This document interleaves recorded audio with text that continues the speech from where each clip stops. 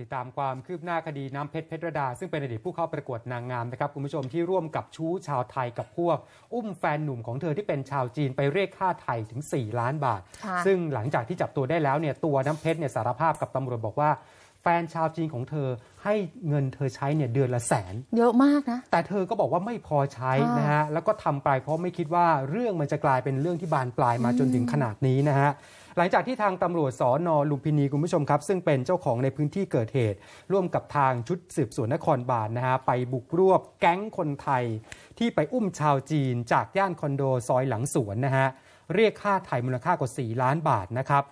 โดยจับยัดลงกล่องพลาสติก และมีการทำร้ายร่างกายด้วยนะครับ 14 เมษายนที่ผ่านมา ซึ่งตอนนี้เนี่ยทางตำรวจจับกลุ่มได้ครบแก๊ง 6 คนแล้ว ประกอบไปด้วยนัทพัฒน์หรือว่ากบคนนี้เป็นคนซ้อม เป็นคนอุ้ม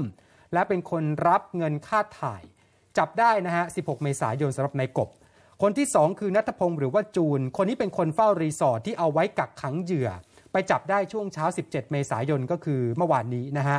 คนที่ 3 กายสุภพล คนนี้เป็นหัวโจกเลยครับคุณผู้ชมฮะ ไปจับได้ช่วงเย็นวานนี้ที่ย่านทองหล่อ ซึ่งคนนี้แหละเป็นคนที่คบกับตัวเพชรดาอืมนะฮะ แล้วในช่วงวันเดียวกันตอนค่ำตามจับเอ่อนางสาวสริตาหรือว่าตาได้ คนนี้เป็นคนรับเงินบัญชีม้าจากเหยื่อ ไปจับได้ที่หัวหินค่ะก่อนที่จะไปตามจับธนายุทธหรือว่าโจ คนนี้ก็ทำหน้าที่เป็นคนซ้อมและคนอุ้มเหยื่อ ได้ที่อำเภอคลองหลวงปทุมธานีนะครับจับได้ที่ปทุมธานี และรายสุดท้าย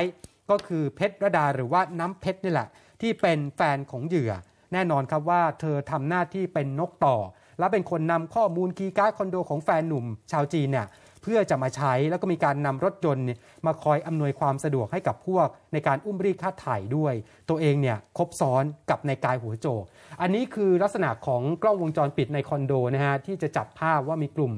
คนไทยเนี่ยเห็นไหมมีกล่องพลาสติกอยู่ค่ะแล้วก็มีลักษณะคล้ายๆมีผ้าปิดผ้าคลุม แล้วก็เข็นไปที่ลานจอดรถ ไม่น่าเชื่อว่ากล่องเนี้ยคือกล่องที่ในมีหวังอยู่ใช่ในนั้นอยู่ด้วยมีนี่คือคนจังหวะอยู่ที่ใช้รถเข็นของทางที่พักเนี่ยนะคะครับเข็นออกจากห้องแล้วผู้เสียหายอยู่ด้านใน มีบางช่วงบางตอนเนี่ยจังหวะหนึ่งเหมือนว่าในหวังจะรู้สึกตัวขึ้นมานะคะ แล้วก็ปะเหมือนฝามันเปิดขึ้นมาด้วยนะคะ ก่อนจะเข็นเข้าไปในลิฟต์นะคะอะ ขณะเดียวกันค่ะนางสาวน้ำเพชรเนี่ยที่ถูกจับได้ที่คอนโด ย่านสุขุมวิทเธอบอกแบบนี้ค่ะว่ายอมรับว่าเป็นบุคคลตามหมายจับ แล้วก็ยอมรับด้วยว่าแฟนชาวจีนที่ถูกอุ้มรีดเนี่ยให้เงินเธอใช้เดือนละ 1 0 0 0 0แสนบาท แต่เธอบอกว่าไม่พอใช้นะคะตำรวจคาดการณ์ว่าเป็นสาเหตุที่ทำให้นางสาวน้ำเพชรเนี่ยวางแผนกับชู้ชาวไทยก่อเหตุขึ้นมาค่ะ โดยพันตำรวจเอกนิมิตนูพลทองนะคะผู้กำกับการสอนอลุมพินีเปิดเผยว่า วันนี้นะคะจะนำตัวในกบค่ะผู้ต้องหาที่จับได้วันแรกเลยนะคะ คนนี้ที่เป็นคนพาในหวังเนี่ยมาส่งที่ร้านอาหารแห่งหนึ่งหลังจากที่ได้เงินไปแล้วนะคะ ไปขออำนาจศาลอาญากรุงเทพใต้ฝากขัง ส่วนคนที่เหลือค่ะ ต้องเค้นสอบถึงพฤติการในการก่อเหตุด้วย เพราะว่าบางคนเนี่ยให้การภาคเศษยอมรับแต่ว่าเป็นเพียงผู้ต้องหาตามหมายจับ แต่ว่ายังไม่ยอมให้รายละเอียดทางคดีนะคะ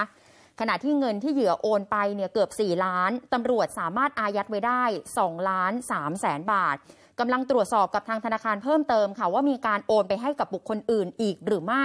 ถ้าเกิดมีต้องเรียกเจ้าของบัญชีมาสอบว่ารู้เห็นด้วยหรือไม่นะคะพลตำรวจโททิติแสงสว่าง ผู้บัญชาการตำรวจนครบาลจะมาร่วมประชุมเร่งรัดการสอบสวนด้วยนะคะ ฟังเสียงเพิ่มเติมค่ะ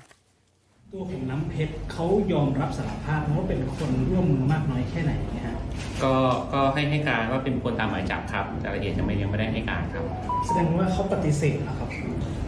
ก็เป็นเป็นสิทธิ์ของของผู้ต้องหาที่จะให้การใดๆก็ได้ครับ เขาเขายอมรับไหมว่าเขาได้ร่วมขบวนการไหมหรือว่าเขาเป็นคนวางแผนตั้งแต่ต้นหรือยังไงฮะก็ให้การว่าเป็นบุคคลตามหมายจับอย่างเดียวครับตอนนี้ในเรื่องของการวางแผนนะฮะเรื่องของการจัดเตรียมอุปกรณ์ต่างๆ ทั้งกล่องพลาสติก แล้วก็รถเข็นอะไรต่างๆเนี่ยเขาได้มีการ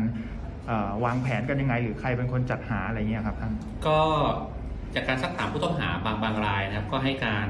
เอ่อมีว่ามีการประชุมวางแผนกันครับอืมครับ แต่ว่ารายละเอียดคือตอนนี้ก็ยังให้รายละเอียดยังยังไม่ไม่ไม่ได้ครับเนื่องจากอยู่ในระหว่างการสืบสวนขยายผลครับ แต่เรายืนยันว่าเรา